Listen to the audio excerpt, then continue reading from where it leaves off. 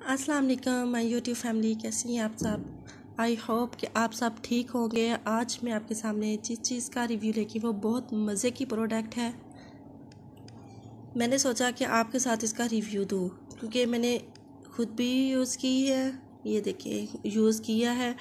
और इतनी सी, थोड़ी सी रह गई है। तो मैंने कहा कि चले आपके साथ भी इसका डेमो देती हूँ, ये कैसा है, कौन से लोग इसको इस्तेमाल कर सकते हैं, किन के, कौन से मसले के लिए ये प्रोडक्ट लॉन्च हुई है।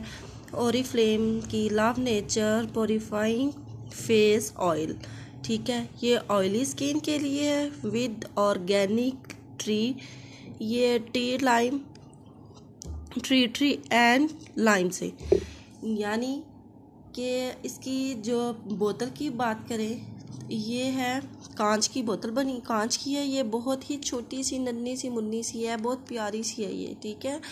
और इसकी जो जार है जो, ये है टेन एम का छोटा सा है, ठीक है? ये मेड इन स्वीडन है और इसका, इसकी सेंट कैसी है, ये सारा कुछ मैं आपको बताऊँगी। ये है लव नेचर का प्योरीफाइंग।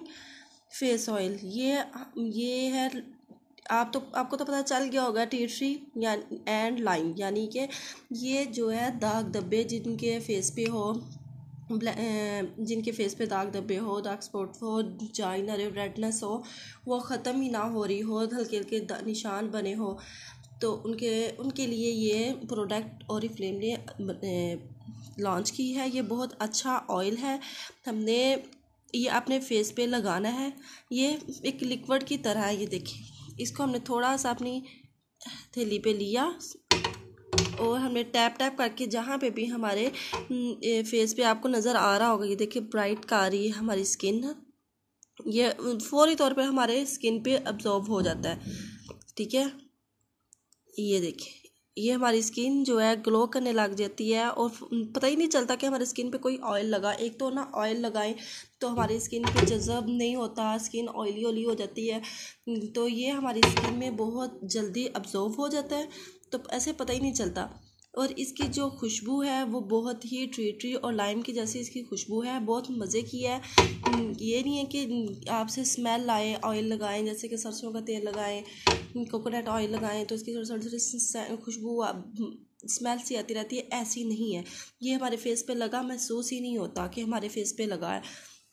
ये जो आपको तो पता है कि जो ट्री ट्री है, ये एंटी बैक्टीरियल है, जो बैक्टीरिया को मारता है और जो हमारे स्किन पे वो बैक्टीरिया से निकल आ जाते हैं, जैसे कि एक्नी होगी पिंपल्स एक्नी होगी डार्क स्पॉट होगी वो जाती नहीं है। तो उस वजह से ये है, हमारे ऑयल और फ्लेम ने लॉन्च की है बहुत, ये अब लॉन्च हुई है। पहले ये हमारे कैटलॉग में नहीं थी, ठीक है?